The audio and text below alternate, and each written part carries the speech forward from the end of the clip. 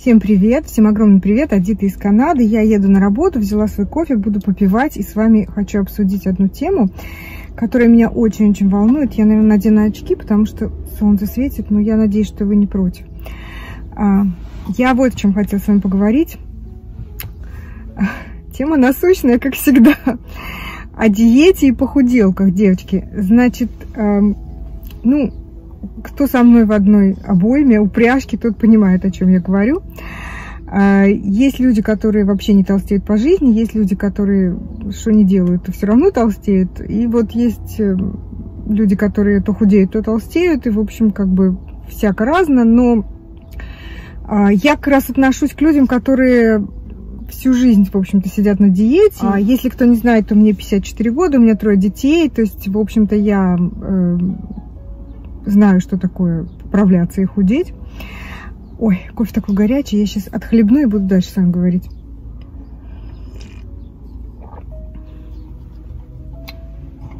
Хорошо.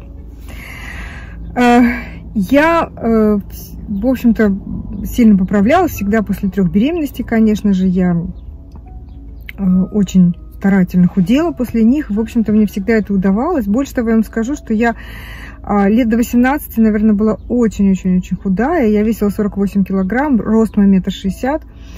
И, в общем-то, как бы я ела все подряд, и я не поправлялась, и все было нормально. Но где-то лет с 18, с 19 я стала поправляться сильно. И особо тоже не парилась по этому поводу, потому что, знаете, когда мы молодые, мы как бы, ну, немножко пухленькая, но, в принципе, в молодости это как-то все молодые все красивые, независимо от веса и от фигуры. Почти, в общем-то, в основном. А, и вот э, я поправилась, потом я родила первого ребенка своего, я была совсем молодая, и я очень сильно поправилась, и вдруг, знаете, а у меня остались привычки человека худого. А, я носила короткие юбки, я, в общем-то, как-то не видела себя в своем весе, я считала, продолжала считать, что я еще очень даже ничего. А до одного прекрасного дня, когда я тогда училась в институте, и пришла на пару, значит, в, в короткой юбке, и сзади за мной девчонки, э, кто-то из них, я уже не помню, сказали, боже мой, каждая корова на себя пялит короткую юбку. И тут я так, знаете, ужаснулась, подумала, это про меня, это я, боже мой, нет. И, но потом, знаете, это как-то заставило на меня, меня взглянуть на себя с другой стороны. Я действительно пришла домой, посмотрела на себя в зеркало и поняла, что я очень сильно поправилась. У меня тогда не было весов, я вообще не смотрела за своим весом. Я а, привыкла, что я всегда была очень худая, поэтому я как-то пропустила вот этот момент, э, момент тогда, когда я, в общем-то, сильно поправилась и стала уже совсем не очень худая. И с тех пор я как бы вот занялась своим похудением, я занялась своей фигурой, я стала смотреть, что я ем, что я не ем. У меня появились какие-то такие привычки, не есть вечером, не есть жирно, не есть сладкое, не есть то, не есть все.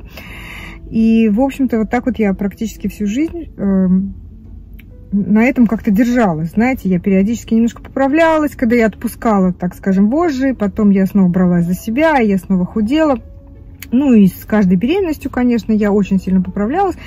Но я довольно быстро сбрасывала вес, где-то месяца за 4, за полгода я возвращалась в свой нормальный вес, потому что я очень этого хотела, и я очень старалась. Сняла очки, так, мне кажется, лучше. А, и вот мне стукнуло 50 лет. Мне стукнуло 50 лет, и я была в какой-то очередной своей фазе поправления, по-моему. И э, я решила что мне пора худеть, потому что я опять немножко набрала вес, и можно, в общем, как бы немножко по попробовать его подсбросить. И вдруг я с ужасом поняла, что больше ничего не работает. То, что работало раньше, то не работает сейчас. То есть я увидела, перестала кушать сладкое, стала очень следить за тем, что я ем, стала очень следить за тем, когда я ем, в какое время. И я поняла, что это, ну, и ничего, и никакого толку. Вот. Но, а, и как-то это меня, знаете, меня это как-то очень, а, ну, как бы, я так махнула рукой и сказала, ну, что будет, что то будет. Раз я вот так вот себя ограничиваю во всем, все равно не худею, значит, я буду все есть. Я стала все есть в то время, когда я хочу. Я бы правилась еще, потом я снова, значит, переставала все кушать, потом это не помогало, я снова, значит, садилась на диету. А, ну, диета не диета, девочки. Я должна сказать, что это не была прям диета. Я ела почти все. Единственное, что я как бы ограничивала в дозах, в размерах, порциях и старалась не есть очень много сладкого, очень много калорийных вещей, старалась вообще их не есть, хотя ела, конечно, не совсем, что я уже совсем не ела. И плюс ко всему я старалась, конечно, не есть поздно вечером, что тоже не всегда получалось, потому что то гости, то муж пришел с работы поздно, садится ужинать, и я сажусь с ним. В общем, не всегда получалось так, как я хотела. Простите меня снова в очках, потому что солнце-то заходит и выходит, и я, значит, вот это вот. Да, неважно. Короче говоря, э, какое-то время назад я решила взяться за себя полностью, и я очень много слышала про интервальное голодание, и я подумала, что, ну, в общем, это мне подходит, потому что я спокойно, наверное, смогу не кушать 16 часов, ничего такого в этом нету. И я пыталась э, сидеть на интервальном голодании, но опять же без особого успеха, потому что вот э, все равно вечером то орешек, то маленькую шоколадку, то яблочко, то мандаринку, то йогурт, то просто кофе попить с молоком. Кстати, я пью кофе и чай без сахара уже очень-очень много лет. Лет, ну, 30, наверное. А молоко добавляю в кофе, в чай нет. А, в общем, ну и принцип-то там в том, что вы должны вот эти 16 часов, которые вы ничего не едите, вы должны не есть то есть ничего, это значит ничего. Это не, не орешек, не кофе, не... Ну, вообще ничего. То есть все, что имеет хоть одну калорию в своем, так сказать, составе, не должно попадать в ваш организм. И а, кофе, по-моему, черный можно. Считается, что можно, но, по-моему, там тоже есть несколько калорий. В общем, и э, я считала, что я сижу на интервальном голодании. На самом деле я ничего на нем не сидела, потому что я говорила себе, ну подумаешь, я э, подумаешь, я съела один орешек. Или утром я встала и выпила кофе с молоком. Но это же не еда, на самом деле кофе с молоком это еда, потому что молоко имеет калории, и таким образом вы отправляете калории в свой, э, в свой организм, и, в общем-то, это все, это все не работает. И какое-то время назад я послушала одну блогершу, и она рассказывала, что она, значит, сидит на интервальном голодании, она пользуется апом в телефоне, application, который считает вот эти 8-16, значит, и вот ей это очень помогло. И я еще тогда подумала, что ну, правда, что как бы взрослые люди, вы можете сами посчитать свои 8 часов и 16 часов, сколько вы не едите. А, как бы это не... Ну, зачем ап, да?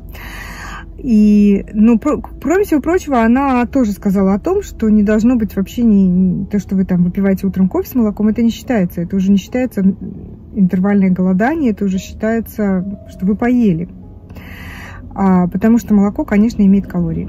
И, э, а я, знаете, так себе говорила, я утром вставала в 7 часов, в 8 я выпивала кофе с молоком и не ела до 12. Я говорила, у меня такой большой перерыв, вот я вчера вечером поела, а сейчас до 12 дня я не ем. И вот все равно ничего не помогает. А, в общем, короче, я так вдохновилась и поставила себе тоже application, а, этот ап на телефон, он называется Zero, но есть очень много апов разных всяких. Я поставила этот Zero, потому что она, у нее этот Zero, и я следом за ней тоже это сделала. И я вам хочу сказать, что это, конечно, ну, я не знаю, я не могу сказать, что это сто процентов. Ну, в общем, он просто вам считает время, сколько вы не, не ели, но он такой нудный, он вам посылает сообщения, месседжи какие-то, имейлы, как вы себя чувствуете, не хотите ли вы покушать, типа, come on, знаете, не, не надо мне вот это, я не люблю это все, я... Вот, там, например, какие-то бэджи выдает, ну, вот как значки, типа, вы заслужили значок, потому что вы целую неделю, значит, соблюдали ваш пост 16 часов, там, мне, я уже там, собирает мне какие-то значки, что мне это все так смешно, в общем-то, скоро мне дадут медаль золотую за это, от АПа. Но а, факт тот, что я вам хочу сказать, что поставив ап, я стала соблюдать это железно. Вот так интересно, но вот я вот, знаете, вы как будто себя ставите на счетчик, и вы не можете его подвести, вы не можете подвести свой application, что смешно звучит, я понимаю, это глупо, конечно, но на самом деле, ну это действительно есть в этом что-то. Вот для меня это работает, например, я поставила этот ап, я его включаю, например, последний раз я ужинаю в 6 часов, и до 10, по-моему, я делаю 8-16, до 10 утра плюс я ничего не ем. И даже вечером, когда мне хочется орешек или шоколадку, или мой муж садится кушать, приходит с работы, и я сажусь рядом с ним, и я пью воду, я ничего не ем. Раньше я садилась, что-нибудь там кусочничала, хватало кусочек того, кусочек всего, всего понемножечку вроде знаете, как это не считается, да? А, а вот этап меня держит, он действительно меня держит, и когда мне муж говорит, идем кушать, садись, посиди со мной, покушаем, значит, и поедим, и я вот так вот, не-не, я на счетчике, я могу только с тобой водичку попить. А, и он уже тоже знает, что я на счетчике, и дети мои знают, что я на счетчике, поэтому маму нельзя, маме нельзя предлагать кушать. И сама себя вот это дисциплинирует. Вы знаете, что это действительно дисциплинирует, это действительно работает. А теперь о результатах. Я, собственно, хотела вам сначала рассказать, что вот я поставила себе application, что я такая молодец, я теперь все соблюдаю и, и хочу посмотреть э, на свои результаты, но сразу я это видео не записала, а решила подождать немножечко и посмотреть на свои результаты и рассказать вам об этом. Что вам сказать, девочки? Результатов почти что нет. Как это не грустно и не печально, несмотря на то, что я свято соблюдаю. Я даже утром, когда встаю, в принципе, считается, что черный кофе попить можно, хотя в нем есть или чай, хотя там есть там одна калория, но тем не менее. Я даже не пью ни кофе, ни чай утром. Я действительно э, не ем вообще ничего, ничего, ничегошечки до 10, до 11 утра. То есть, э, в принципе, это совсем не тяжело. Это вообще ни разу не тяжело, потому что покушавший, поевший последний раз в 6 часов вечера, что нормально. В общем-то, и не надо позже. Э, я не голодная совсем к вечеру. Я совершенно не голодная, потому что я а, то, что я ела раньше, как бы после шести, это я не ела с голоду. Это, знаете, такая социальная еда, когда вы с кем-то садитесь вместе покушать, или вы чего-то хотите себе засунуть в рот, потому что вам просто грустно, вам скучно, вы устали, вы, себя жалеете, у вас плохое настроение, и вам хочется чем-то себя порадовать, мороженка там, э, я не знаю, в общем, яблоко тоже даже, в принципе, хотя считается, что яблоки можно, но тем не менее, вот если вы делаете вот это 8-16, вы не можете ничего, даже яблоко.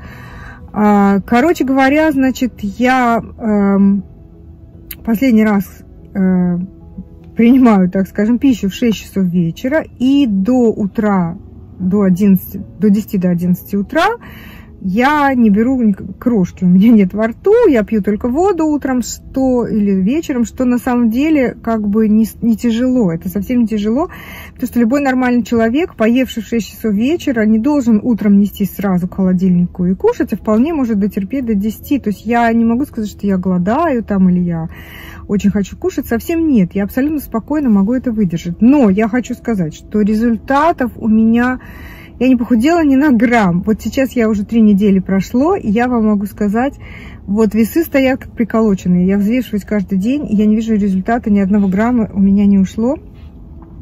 Какой был вес, когда я начинала? Ну, может быть, там 300 грамм у меня ушло, знаете. А, и, и то сказать, что потому что я начинала в понедельник, а после выходных мы всегда немножко весим больше, потому что там, знаете, семьей, больше вы как бы находитесь, и вы куда-то ходите или там где-то кушаете.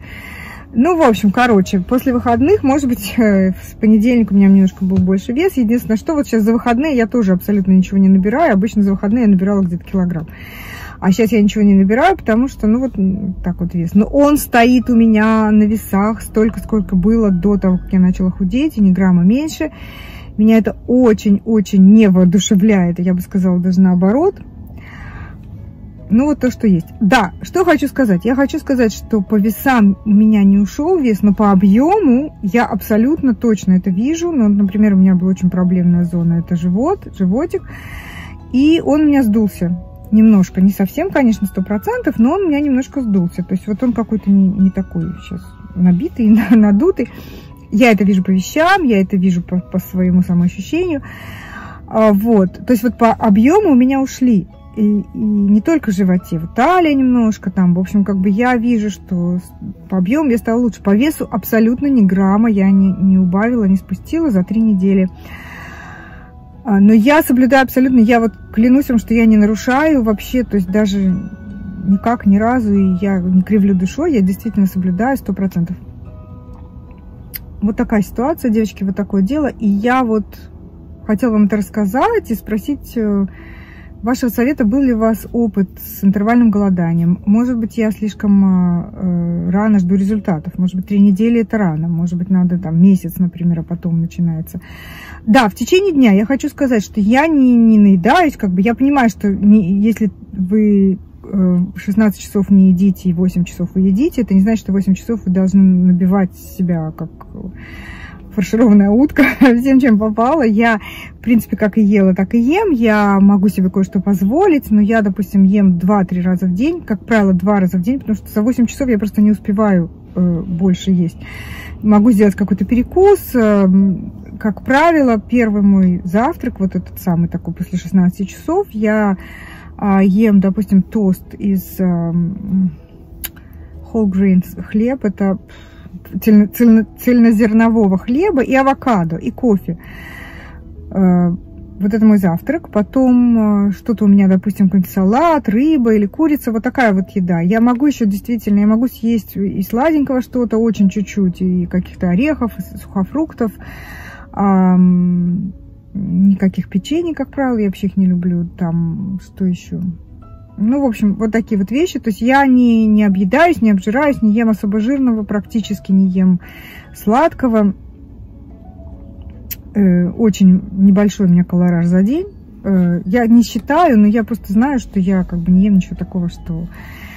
И последняя у меня еда в 6 часов, после 6, даже раньше иногда в 5 я перестаю кушать. В общем, э, вечером я тоже не наедаюсь. И вот такие результаты. То есть я не знаю, в общем-то. Может быть, мне нужно не делать больше, чем 8-16, потому что есть 18 и 6. Может быть, чем старше ты становишься, тем больше промежуток э, вот этого голодания нужно, нужно соблюдать и делать. Не знаю, трудно сказать, но, в общем, девочки, посовет, посоветуйте мне, если вы кто-то кто, -то, из вас э, знает, и кто-то из вас делал э, интервальное голодание, как это у вас работает, и работает ли. И, в общем, вот такой вот. Буду держать вас в курсе. Вот буду держать вас в курсе и рассказывать, что происходит. Подожду еще немножко, через какое-то время снова сниму такое видео, может быть, на тему о том, как я, есть ли у меня какие-то результаты. Ну, знаете, то, что есть результат в объеме, это, в общем-то, тоже уже неплохо, да. Но вот мне странно, что по весам, ну, просто вот как вообще флат, то есть ни, ни, ни грамма я не скинула.